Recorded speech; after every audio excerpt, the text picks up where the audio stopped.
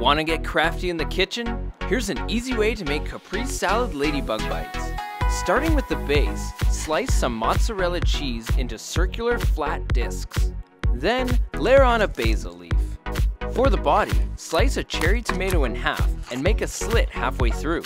This makes the shell and wings of the ladybug. Next, slice a black or Kalamata olive in half. Place them together to bring the ladybug to life. For nice round spots, dab some balsamic glaze. And there you have it, a cute, delicious, bite-sized caprese salad to serve your friends or family. Thanks for watching.